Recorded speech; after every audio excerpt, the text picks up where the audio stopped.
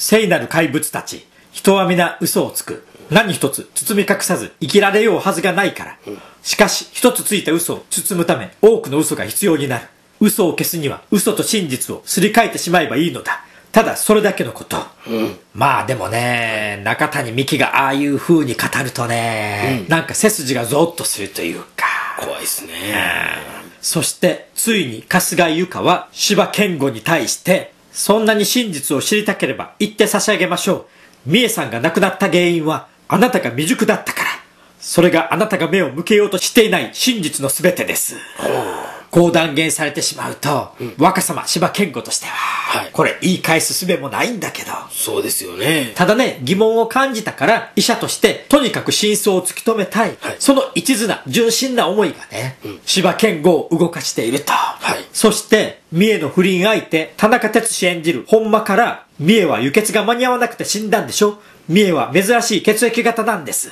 そう聞かされた健吾は、ついに真相にたどり着く。はい結局、亡くなった有馬美恵の血液型は、ボンベイ型。はい世界的にも珍しい血液型で、はい他の血液型を入れると、激しい溶血反応が出てしまうと。んで、血が止まらなくなる。は美恵が死んだ原因はそこにあると。はい。しかも、ボンベイ型のややこしいのは、はい手術室にある血液型の検査キットで調べると、大型プラスの結果が出ると。ほう。普通の大型やっていうことになるんですよね。つまり、春日井由香は、あらかじめ用意していた、三重から採取したボンベイ型の血液の輸血バッグのラベルを貼り替えた、大型プラスに。はい。だから最初の方の輸血は、適合したというか、本人の血液が使われていたのだから、い何の異変も起こらなかった。ところが、最後のバッグだけは、普通の大型プラス。だから問題が生じた。はい。ということは、ゆかは意図的に三重を殺害したということに。でね、はいここで不思議に思っていたのは、その動機は何なのか。そうですね。というのは、珍しい血液型であるから、前もって三重本人の血を貯蔵してたわけでね、はい無事に赤ちゃんを産んでもらおうと。はい。そこまでしていたのに、なぜ殺さなければいけなかったのか。はい。それは、はい。なんと言っても、三重のお腹の子が、ん。日向敏夫と恵子の受精卵による代理出産ではなくて、三重自身が妊娠していたっていう事実。はい。で、それも、日向敏夫の遺伝子を持っている子であれば、ある意味、日向家の跡取りということでは、まだ救いもあったんだけど、はい。なんと実は、不倫相手の本間の子であった。はつまり、日向家の遺伝子すら持っていない。で、そんな子供を妹である恵子は育てなければいけない。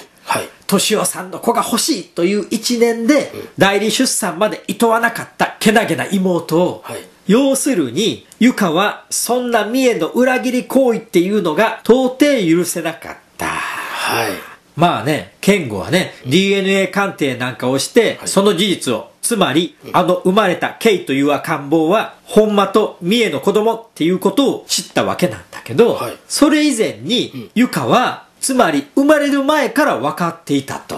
そうですよね。まあそれはね、三重本人から聞いたことなのか、それとも女の勘なのか。勘で殺されたら怖いですね。ところで一方、陽子の兄平井邦夫っていうのはやっぱり刑事で、はい。でも、日向敏夫を脅迫するなんていうね、どっちかというと裏の顔を持つ男。はい。ところが、あの日向敏夫、はいあっさり返り討ちにしてしまったっていう感じでね。